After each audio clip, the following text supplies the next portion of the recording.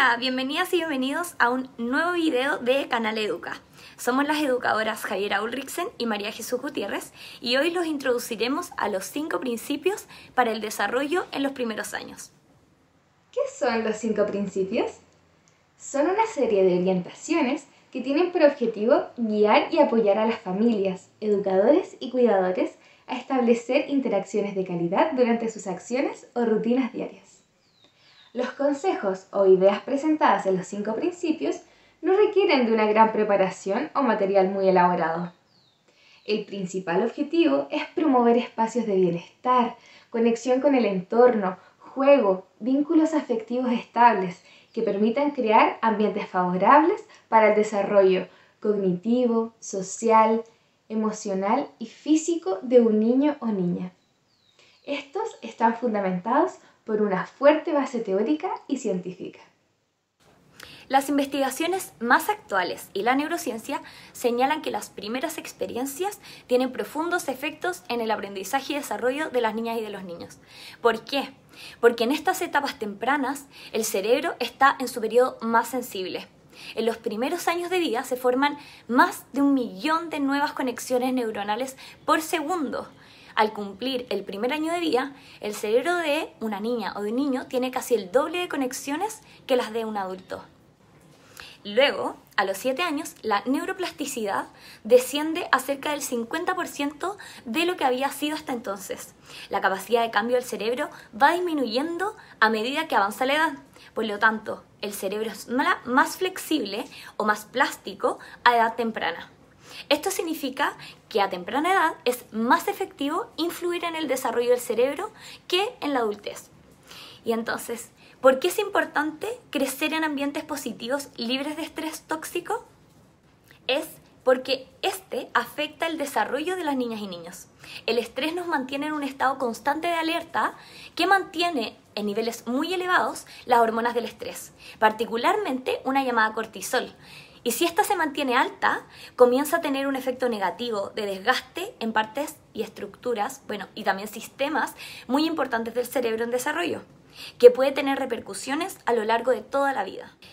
En esta imagen que podemos ver acá, se observan dos situaciones. Arriba, la neurona de una persona en situación normal o típica, la cual tiene muchas conexiones, y la de abajo está expuesta a estrés tóxico, y esto se refleja en una neurona dañada con pocas conexiones. ¿Cuáles son los cinco principios? Número uno, dale todo el amor y controla el estrés. Número dos, háblale, cántale y señálale las cosas. Número 3. Cuenta, agrupa y compárale las cosas. Número 4. Exploren mediante el movimiento y el juego. Y número 5. Lean y comenten cuentos. A continuación, describiremos a grandes rasgos cada uno de estos principios y algunos consejos para poder llevarlos a cabo. Es importante, antes de describir los siguientes principios, destacar que todos los contextos y familias son infinitamente diversas y que estas orientaciones son adaptables y flexibles a cada realidad, por lo que los invitamos a realizar lo que esté al alcance de cada uno. El primer principio es dar todo el amor y controlar el estrés. Las niñas y niños se desarrollan de mejor forma en entornos cariñosos, seguros y confortables. Cuando los padres o cuidadores demuestran su amor, se relacionan afectuosamente y responden a las necesidades, le están enseñando a las niñas y niños que ellos pueden contar contigo. Se sienten a salvo y confiados en este mundo, lo que les permitirá tener la confianza para explorar, aprender, tomar desafíos en la vida y son una guía para las relaciones futuras. Cuando un niño o una niña lloran de forma prolongada, sin obtener una respuesta sensible de parte de sus cuidadores, secretan una, una hormona denominada cortisol. Si es atendido y tranquilizado, el nivel de cortisol desciende. De lo contrario, aumenta y a largo plazo el cortisol puede alcanzar concentraciones tóxicas, capaces de dañar las estructuras y sistemas que son cruciales del cerebro infantil en desarrollo. Pero, ¿cómo puedes apoyar que el mundo del niño sea más amable, seguro y predecible? Dale atención, dale contención, de la forma que a ellos más les acomode. Una mirada, una caricia, puede ser un abrazo o también un beso. Intenta responder cuando ellos lo necesitan o lo solicitan. Ayúdalo a manejar sus emociones, consolándolo, apoyándolo cuando pasa por momentos complejos y por supuesto, muy importante, encontrar estrategias que te ayuden con tus propias emociones. El principio número dos es háblale, cántale y señálale las cosas. El desarrollo del lenguaje comienza muy tempranamente, incluso antes del nacimiento. Para favorecerlo resulta fundamental la interacción social con adultos cercanos y conocidos que hablen con los niños y las niñas desde el primer día de vida. Esto permite ampliar sus posibilidades de comunicación y conexión con el entorno. Los científicos ahora saben que un ingrediente importante en este proceso de desarrollo es la relación de dar y devolver entre los niños y sus padres y otros cuidadores de la familia o la comunidad. Pero, ¿a qué se refiere esto? Las niñas y los niños pequeños naturalmente buscan la interacción mediante balbuceos, expresiones faciales y gestos, y es importante que los adultos respondan a estos. En ausencia de tales respuestas, la arquitectura del cerebro no se forma como se esperaba, lo que puede conducir a disparidades en el aprendizaje y en el comportamiento. Háblale lo que más puedas, siempre respetando sus tiempos y espacio. Puedes verbalizar en momentos de muda, alimentación o cuando vayan a salir. Describe lo que haces y lo que están haciendo ellos. También puedes buscar cuentos, libros, revistas o imágenes para observar y comentar lo que ven junto a los niños y niñas. El tercer principio es cuenta, agrupa y compárale las cosas. El desarrollo del pensamiento lógico matemático comienza desde los primeros meses de vida. A través de experiencias cotidianas y de juego, las niñas y niños construyen ideas y habilidades matemáticas. Y es ahí donde los adultos pueden acercar contenidos matemáticos de comparación, cualidades de objetos, geometría, espacialidad, temporalidad, tamaños, cualidades de objetos, números, conteo, creación de símbolos, signos matemáticos, agrupación y muchos otros. Te invitamos a acompañar a tu hija o hijo en este proceso. Es importante potenciar la educación matemática desde los primeros años, ya que las primeras nociones que poseen los niños y las niñas sobre las matemáticas son necesarias para después llegar a aprender las matemáticas más formales. Algunos consejos. Permita la exploración libre de objetos, descríbalos y también sus características. Ponga uno encima del otro, hable de esto, comparen formas, comparen tamaños, cuenten objetos, trasvasijen elementos, pida la ayuda al repartir. Observen los números en las casas, en los barrios, en espacios cotidianos. El cuarto principio es exploren mediante el movimiento y el juego.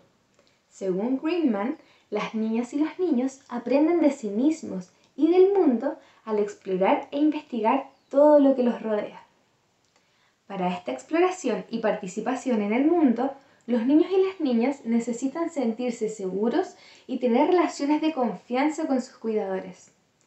El movimiento, la exploración y el juego son actividades naturales y necesarias para el desarrollo del cuerpo, la creatividad y la conexión con su entorno. Las niñas y los niños son científicos sensoriomotores. ¿Qué significa esto? Que están investigando constantemente el mundo a través de sus sentidos, explorando con su boca, con su piel, sus ojos, oídos y moviéndose gracias a sus músculos. A partir de esto comienzan a comprender, buscar y experimentar sin fin. Como adultos podemos potenciar esa curiosidad e interés natural acompañando, interactuando y permitiendo la utilización de espacios y de elementos. El movimiento, la exploración y el juego son esenciales para dar lugar al aprendizaje. Y no necesitamos grandes espacios o materiales especiales. Solo permitir que las niñas y los niños exploren libremente jueguen y se muevan alejando los miedos de qué puede ocurrir o sobre el desorden que esto pueda generar.